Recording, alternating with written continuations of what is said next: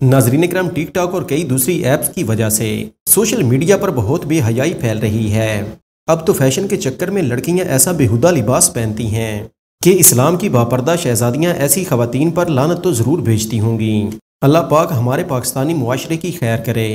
लेकिन अगर ऐसे बेहयाओं को हम एक्सपोज नहीं करेंगे, इन पर बात नहीं करेंगे तो मुस्तबिल में ये मामला इससे भी ज़्यादा आगे बढ़ सकते हैं। हमारा मकसद हरगिज़ ये नहीं कि बेहयाई को सरेआम किया जाए, बल्कि हमारा मकसद तो ये है कि इन बेहयाओं को आपके सामने रखा जाए।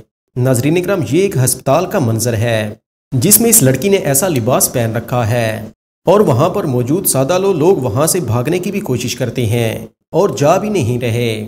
मगर इस बेहया को शर्म नहीं आ रही कि ये मरीज़ की अयादत करने के लिए आई है, या फिर अपनी अयादत लोगों को दिखाने आई है। अब पूरे पाकिस्तान का यही हाल है। नजरिन करम ये वीडियो हमने इसलिए बनाई है कि आप इसको ज़्यादा से ज़्यादा शेयर करके अपना एहतजाज रिकॉर्ड करवाएँ, ताकि रियासत पाकिस्तान इसके खिलाफ कोई बेहतर कानून बना सके। नजरिन करम अगर आप हमारा साथ देंगे तो ये वीडियो उन लोगों तक ज़रूर पहुँच जाएगी। कम अज़ कम बेढंगे लिबासों पर पाबंदी तो लगाई ही जा सकती है। अल्लाह पाक हम सब का हामी नासिर हो, और हम सबको हदायत नसीब फरमाए।